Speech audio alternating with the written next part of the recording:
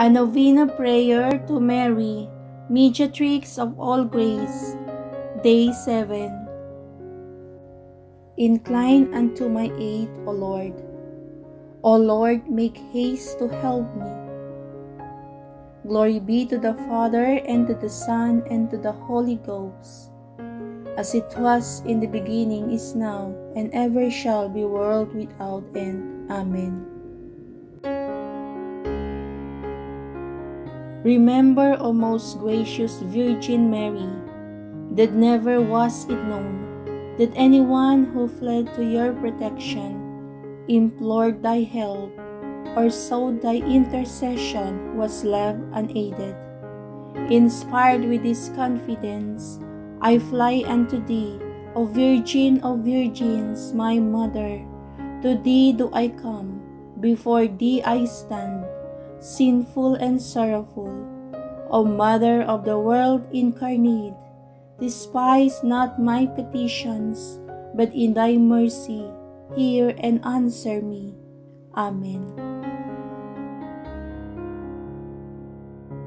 We fly to thy patronage, O Holy Mother of God. Despise not our petitions in our necessities, but deliver us always from all dangers, O glorious and blessed Virgin. Hail Mary, full of grace, the Lord is with thee. Blessed art thou among women, and blessed is the fruit of thy womb, Jesus.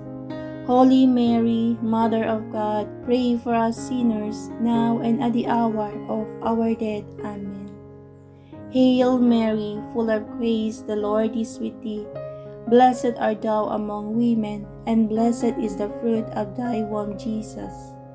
Holy Mary, Mother of God, pray for us sinners, now and at the hour of our death. Amen.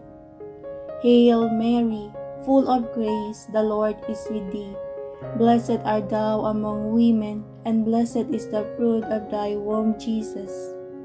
Holy Mary, Mother of God, pray for us sinners now and at the hour of our death. Amen. Glory be to the Father, and to the Son, and to the Holy Spirit, as it was in the beginning is now, and ever shall be world without end. Amen.